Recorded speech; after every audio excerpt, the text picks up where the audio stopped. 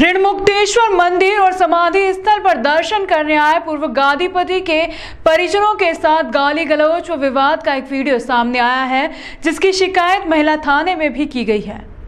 एक लट लेगा तो वो बंदूक लगा एक लट लेगा तो वो बंदूक लगा के- ऋणमुक्तेश्वर मंदिर के पूर्व गादीपति की आकस्मिक मौत के बाद उनके परिजनों को वर्तमान कब्जेधारियों ने बाहर कर दिया था जबकि इस परिवार के पूर्वजों की समाधियाँ वहाँ मौजूद है। वर्तमान के अवैध कब्जाधारियों द्वारा इस परिवार को पूजन अर्चन करने से रोका जाता है जबकि इस संपत्ति पर मालिकाना हक का वाद न्यायालय में चल रहा है। इस परिवार की महिलाएँ देव उठनी एकादशी पर ऋणमुक्तेश्वर मंदिर पर गई थी तो वहाँ के लोगों ने गंदी गालियाँ देकर उन्हें वहाँ से बाहर कर दिया। उसका वीडियो भी सामने आया है।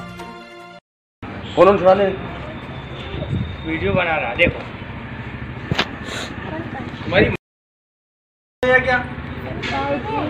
एक लट लेगा तो बंदूक लगा नाथ योगी परिवार की महिलाएँ एवं बच्चों को गाली दी और गोली मारने की धमकी दी।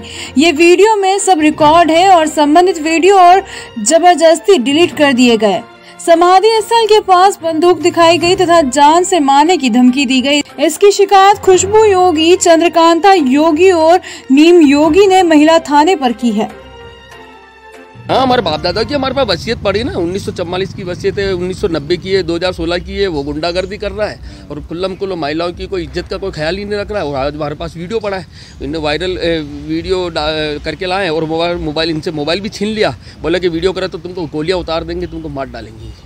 सर, उनके दर्शन करने गए तो आप समाधि भी जा रहे थे बच्चों परिवार के सबके साथ।